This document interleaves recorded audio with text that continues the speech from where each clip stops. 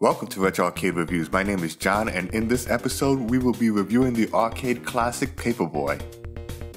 Paperboy is a bike riding platform game that was developed by Atari in 1985. Once upon a time, there was a thing called newspapers. Newspapers were a printed publication usually issued daily or weekly, consisting of folded, unstapled sheets and containing news, featured articles, advertisements, and correspondence. You could sometimes catch your grandfather reading one of these if you get up early enough. Paper boys were usually kids on bikes who delivered newspapers to people's homes. They were usually seen in residential areas and or the suburbs.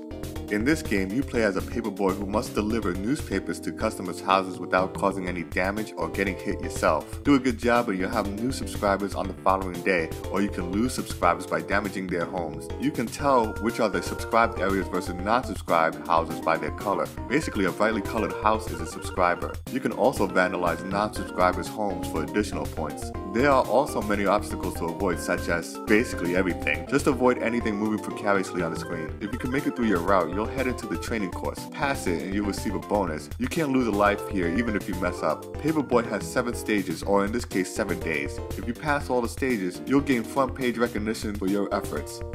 I like this right here when you uh, look at a newspaper carefully, you look at the words, it just says blah blah blah blah blah blah blah. I first ran into this game at a local candy store. I vividly remember Paperboy because it had a handlebar controller. It's the first time I ever saw something like that, so it left an impression until I ran into games like Hang On. Then Paperboy became like a distant memory. You have three difficulties to choose from, so it's up to you how fast you want to lose your quarter. In my opinion, Paperboy is a game of memorization and timing. Everything moves in a set pattern, so you have to figure out when certain things happen. Once you figured out the patterns and the proper timing when to throw the newspapers, man, you just got it. You, you got it. Paperboy was a popular arcade game that had numerous ports, and when I say numerous ports, I mean numerous ports, which always helps with the game's longevity. So if you're interested, if you run into this game on a MAME list, take it out for a spin, let me know what you think.